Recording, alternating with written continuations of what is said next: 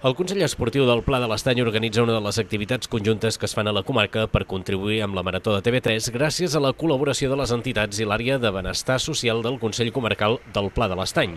Enguany es proposa la setmana de la marxa nòrdica al Pla de l'Estany per la Covid-19.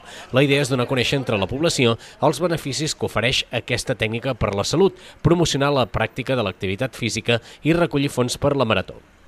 La marxa nòrdica és una modalitat que ofereix grans beneficis, entre els que hi trobem guanyar força i tonificar el 90% dels músculs del cos, millorar la mobilitat i flexibilitat de les articulacions, disminuir la pressió sobre les articulacions, afavorir la prevenció de l'artrosi i l'osteoporosi, millorar la circulació i la resistència aeròbica, prevenir malalties coronàries, ajudar a controlar la pressió arterial, el colesterol i els triglicèrids, afavorir el drenatge limfàtic, estimular el sistema immunitari o millorar la coordinació.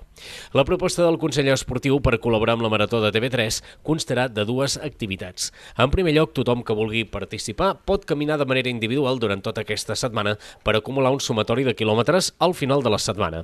Poden apuntar-se per fer el registre de quilòmetres caminats omplint un formulari que hi ha a la web del Consell Esportiu.